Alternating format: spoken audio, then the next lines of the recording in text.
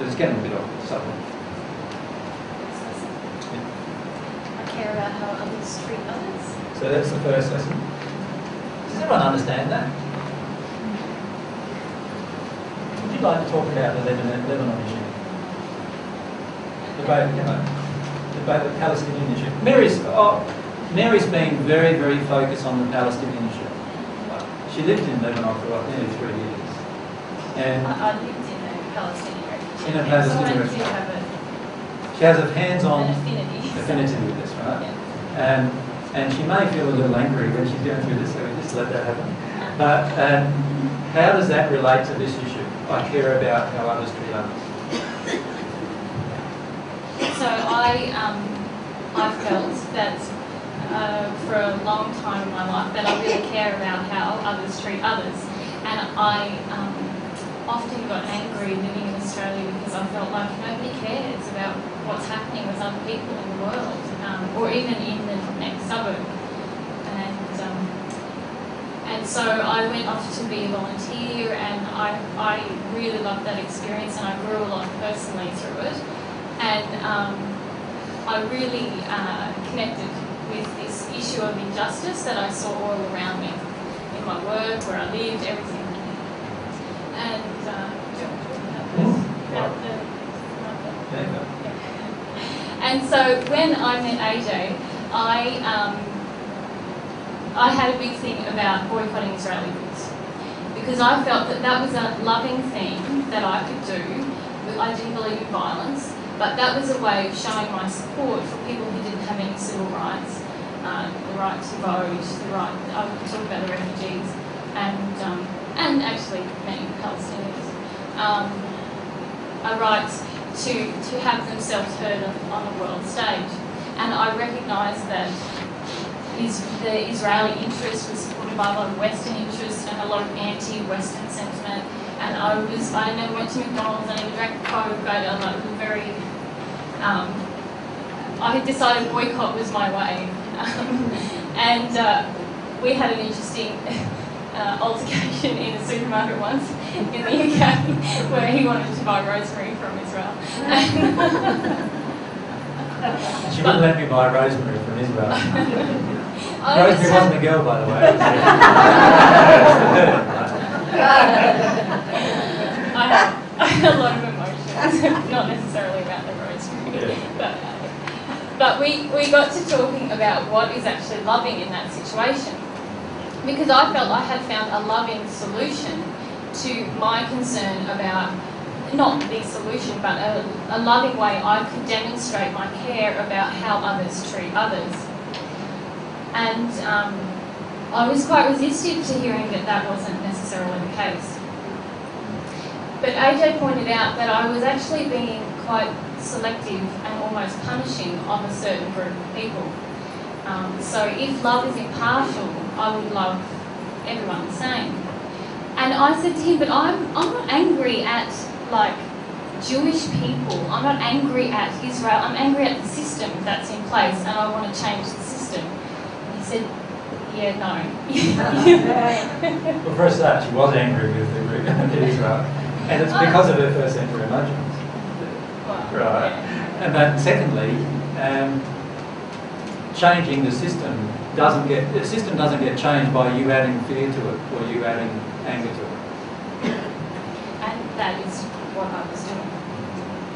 So he said something that I had believed to be true for a lot of my life, um, but I had given up on um, during my time actually living in Lebanon, and that was if I change my soul condition, then that is the most powerful thing I can do for planet. And I had passionately believed that for a lot of my life.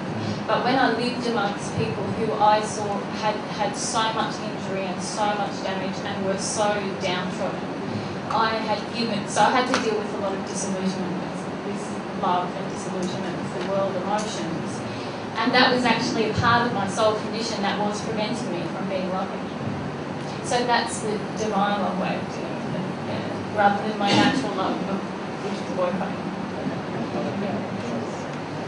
So that's interesting because Kelly's the second person today who's told me that they're really triggered about AJ wearing a Nike t-shirt. and I would have been once too.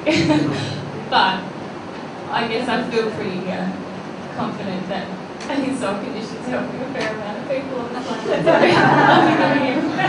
no, I didn't even notice anymore. Well, for a start, I bought it before I knew about all those kind of things. I don't believe in wasting it. But um, again, the more energy you focus on boycotting, um, changing things through protest, and all of these other things, you're actually giving more to these unloving events, really. You're making them bigger than they are. Because remember, in reality, they're all a reflection of your own soul condition. So the real question we need to ask ourselves on the divine path with this issue of loving others, others loving others, we, we can be so judgmental. eh? We can say, yeah, see, they were unloving to that person. But what about all the times I've been unloving? Right, with my soul condition, holding on to my soul condition. And I'm not even thinking about that at that moment. So what we need to do is put the focus back on ourselves, right? What inside of me creates the Palestinian Israel system of things? There's emotions inside of you right now that create that. Ask yourself, what are those emotions? Some of you have an emotion of um, prejudicism between one or the other of those two parties. Some of you may have been harmed by an Israeli in your life, and so you have a more of a preference towards Palestinians. Some of you may have been harmed by something in the Arabic system of things, and so then you are feeling more anger towards that. Or many of you are easily influenced by the world's um, media system, which is all driven by some very, very powerful and wealthy men who have the ability to control you through that system. Does that make sense? Yeah. And so you've got to start questioning, all right, do I look at the unloving way that the media presents everything? What inside of me causes me to want to believe that rather than the truth? What emotion in me causes me to do that? If you deal with that emotion in you, you will be one less person who wants this lie. Does that make sense? Yes. And in fact, as you grow in love, you become so powerful with that that hundreds or even thousands or even millions of people around you will start to look at you as a person who's now understanding the truth and they will start trying to accept that truth. How do you go towards ignorance towards it all? So instead of uh, putting some emotion into it, just uh, not uh, associating it with it altogether. And that's it. I'm actually suggesting against that too, right? If I want to remain ignorant about how others harm others, then am I being loving? No. So what I'm saying is you want to be passionately emotional about all of these things, but realize that the changes begin inside of you about these things. So, so while I have a prejudicism of one race, one colour, one gender, one whatever over the other, what am I doing? I am not acting in love. Can I add to that as well? Uh, some of the other emotions that I think are within a lot of us are emotions about an unwillingness to forgive, um, a need to be right, and they are actually core issues within that issue that do contribute to the yeah, judgment. judgment. And also, uh, I know quite a few people who watch The Secret and they don't watch the news anymore because that's just giving negative attention to negative events. And, but I, I would ask the question, um, what emotion is within you that you cannot bear to see the injustice that does exist world because there is a lot of it. So let yourself feel the injustice that's happening in the world. I'm saying let yourself feel it. It'll trigger some emotions in you. Let yourself feel that injustice and understand once you've felt those emotions, you will get to the point where you can actually be love in every one of those situations. But it is not loving to go and you know do things that are that are protesting or boycotting or all of those other things. You can do it. You can do it as much as you want. I'm not telling you what to do. I'm just saying that often it's driven by an emotion inside of you, not what's going on out there, but actually inside of you. So a lot of times what we do is we feel the injustice of one party over the other. That connects with the injustice I feel about my own life, and I feel really passionate about that. Not connecting to that emotionally, but I'm feeling passionate about it, and so I I- I'm like a leech in a way, connecting to this group of people or that group of people or that group of people, adding to their emotional condition, wanting an addiction satisfied within myself, when in reality what I need to do is release an emotion. So can everyone see the first issue with the first lesson there? I'm not saying don't be passionate about how others treat others. In fact, I'm saying quite the opposite. Be passionate about how other people treat other people. Right? But deal with it in the divine love way, which is look at myself, see myself, see what I'm creating here in this situation. Because all of us are creating something in it. Jen? Uh, last week I was talking to a lady friend of mine and she was saying about how the were down south and I agree with her, they were very horrible and she said yes. Uh, I- I'm watching it on TV all the time and I just feel so bad and I just feel really, really sick. I said, well why do you keep watching it?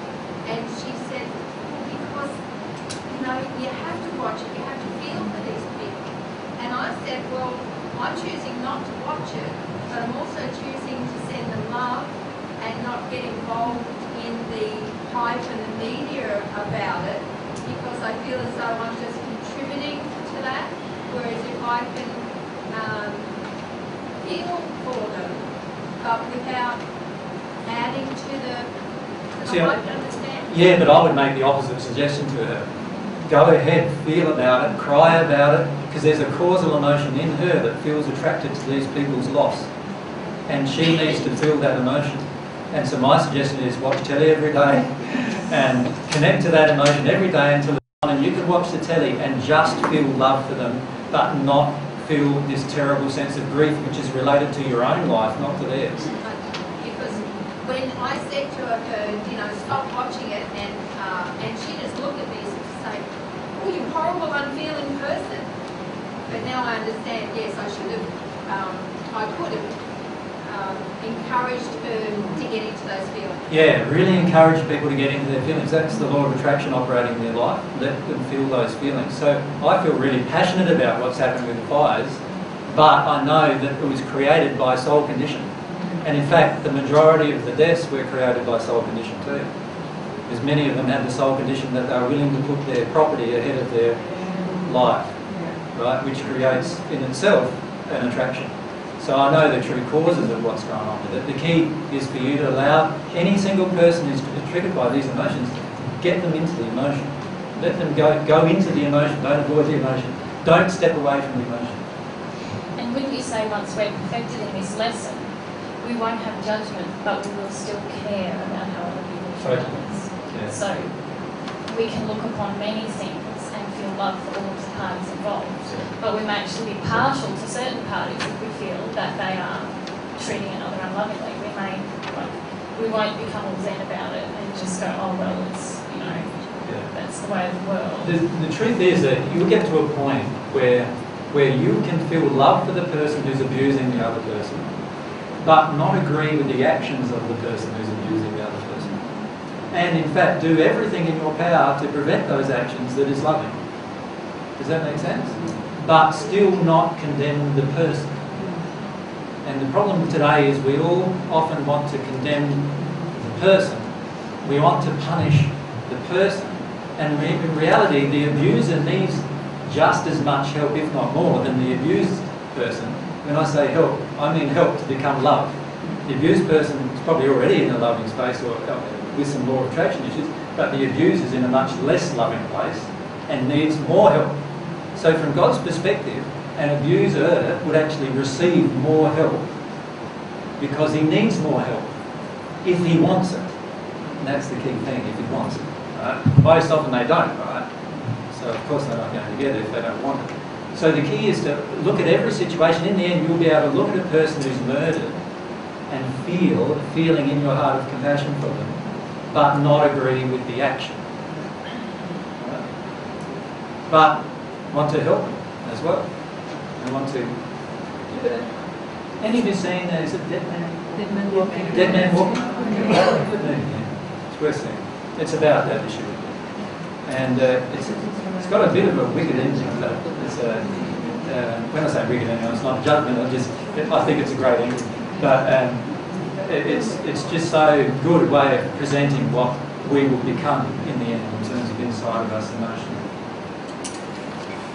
I'm unclear about this boycott thing because in, in my life, if I, if I don't, if I don't agree with some, uh, uh, something that's going on and I have the ability to vote with my dollar, then I will, I will vote, use my dollar, my time, my energy to vote for something that I feel is lovely, rather than something that I feel is not lovely. Yeah, maybe I should clarify. When I'm, when I'm talking about boycotting, I'm talking about active projection of anger towards a particular issue. Okay. Now, most of us are not honest with ourselves with this.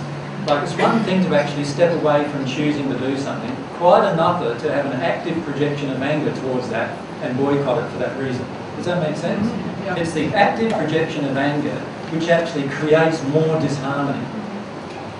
Can I clarify about my boycotting issue? Because I, that, I said the same thing to AJ. I, I've got Rosemary from two different places. I'm choosing the other place. Mhm. And he pointed out that actually it's because of my emotion. That's the damaging thing. I'm actively angry about, you know, an issue. Yeah. So I was trying to get Mary back to the emotion of it. The emotion is that she is angry, and the anger is what actually creates more unloving situations, not less. So she's thinking she's doing an uh, actively loving thing by boycotting. In reality, her anger is the thing that's contributing to more unloving things. And in reality, I do go with my daughter a lot still. Like I, should, I feel I'm discerning about what I buy, the source of the things that I buy. But you won't be angry, no? Yeah. The clear inside, it's just, just, Yeah. So when I'm talking about all of these things, I'm talking about the emotion that's in you, what you're feeling towards it, not necessarily the action. It's the emotion inside of you. So if you're boycotting because the emotion inside of you, I'm angry with that party and I support this party, then you're out of harmony with love. But if the emotion in you is, oh, there's an unloving thing that I've seen there and I want to do what I can to not support that unloving thing, that's a totally different thing. But if you now go out campaigning, campaigning for that, you've got to then question, why am I campaigning for that when really one of the better things I could be campaigning for is for people to change at the soul level. So why am I focused on the issue? Remember last week, a few weeks ago, the issue for you was this issue of vaccination. Right? Now, it was the emotion in you of fear about a vaccination that drove your desire to find out about vaccination, that drove your desire then to tell everybody about vaccination and to, you know, and even not to sleep at night. Mm-hmm. Right? That was the emotion, right? Now, that the natural love way of handling it is that of handling this care about how others feel about others is handling it like that. But that doesn't help your enemy, and it doesn't help them either. The, the divine love way, right, I feel about vaccination issue. Oh, it goes back to my childhood when mum actually injected me with vaccinations. And I felt this pain about being treated badly through my mother and so forth and being told that it was right. And, and that's what drove all of that other behaviour. Now, do you think if that had happened to you, if that hadn't happened to you, that you would have taken the same course with vaccination? I don't think so. And that's what I'm talking about. The core emotion, what's driving the decisions. Does that make sense? I disagree with vaccination as much as you do, right? In the sense that I don't agree that it's a loving practice, right? I also feel that it's quite a dangerous practice because there are often many chemicals in the vaccination, even like mercury and things like that, that are very damaging to the human body. But I don't have the same anger and panic and fear and all of those things which are actually creating the problem even further. If that makes sense? Through the law of attraction. Thank you. All right, I'll proceed because uh, you need to